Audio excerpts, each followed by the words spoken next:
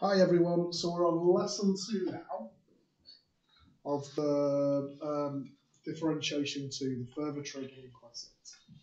So it's talking about derivatives of sine, so we know that sine goes to cos, cos goes to minus sine, minus sine goes to minus cos when we differentiate. So sine goes to cos, cos goes to minus sine. There. So it says now we want to differentiate tan x. Now this is really nice to do. We're going to put it as sine x over cos x, and I'm going to use the quotient rule. Because it says here, problems usually require the use of chain products and quotient. Right, so, a sec, let's get it, um, oops, wrong one. I don't want to press this bottom button. Oh, there you go, that works out. Somewhere, hopefully, here, I have the formula booklet. So let's have a look at the formula booklet for the chain rules. You've got binomial, series we've not done, small angle approximations, trig identity, the compound angle formulas, look at them there. Uh, keep going. And there we go. So there is the quotient rule. So f of x over g of x. So f dash of x g of x minus f of x g dash of x. Let's just write that in here. So it's f dash of x g of x minus f of x g dash of x all over g of x all squared. Right, so ideally you will pause the video and have a go and see if you can get to an answer of secant x. 1 over cosine, 1 over cos x. So see if you can use the product rule, uh, sorry, the quotient rule, and get to the right answer. So please pause it, have a go. I'll just do it now, but I'll do it quietly.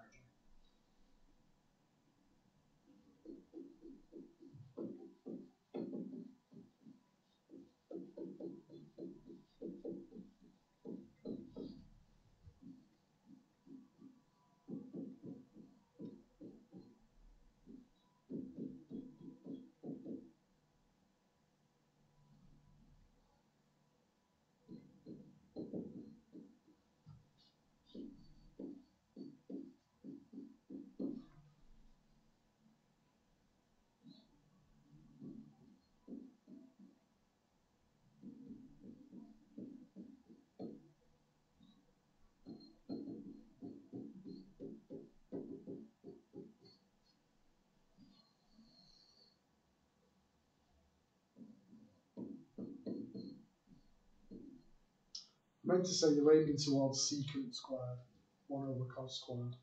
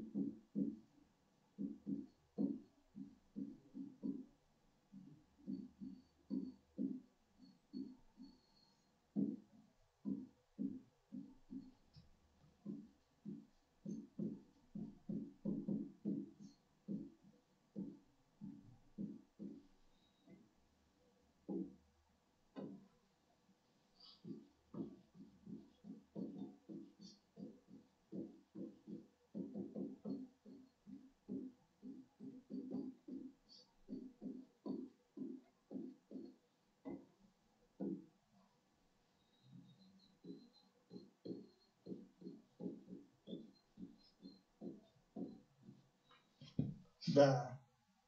So if we differentiate tan, we get secant squared there. And that's really, really important. Let me uh, put a box around it. So if I differentiate tan, it becomes secant squared. And that's a really important one to remember. amongst all the million other things you've got to remember. So it says this results uh, in your formula. So it's in, right, okay, so it's in the formula booklet. Let's have a look and see if it is in the formula booklet. Oops, exit full screen. Go a little bit. Not that much. There you go. So in the differentiation section, top line, differentiate tan, it becomes secant squared. Cool. Right, let's keep going then. How much time have we got left? Oh, only on five minutes, aren't we? Right, so it says example two, sort of differentiator. So if I differentiate 3x squared minus pi by 4, because I'm going to use chain rule, that just becomes a 6x, because a pi by 4 is just a number. People forget that. And then tan becomes secant squared of my original function. There. There we go. So I've got a bit of chain rule with it. So I'm only on six minutes. Let's see what's next. There. So these are them in the formula booklet. So we can use these as we know it. So I've got okay, two examples-ish, well maybe a few more. So it asks us to differentiate E. So remember with E, it stays the same, but using the chain rule, I just differentiate this bit here. So I differentiate secant x and put that at the front.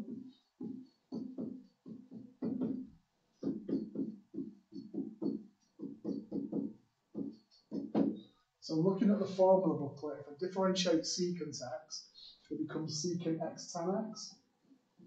You can actually derive these from using the, um, quotient rule, uh, quotient rule. And then I write down original function.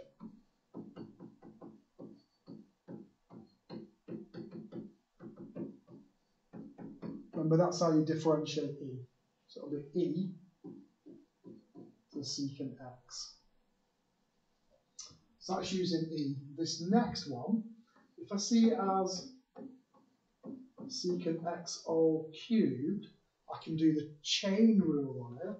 So if you remember what the chain rule is for this, it's differentiate the bit in the bracket. So diff the brackets, which is the same as above. So that gives me the secant x tan x.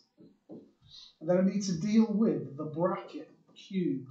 So I'll just differentiate. So really what I want to do, uh, let me try and squeeze in the word inside here.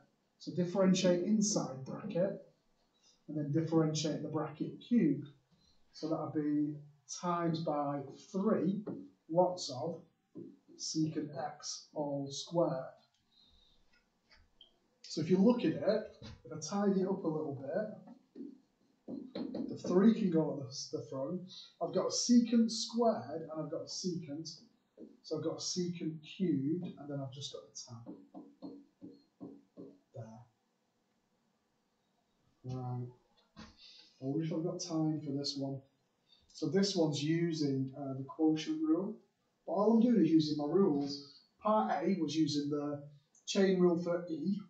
Part B was using the chain rule for some function to power. And C, I've got to use the quotient rule. So I'm just going to pause it there and I'll start it again.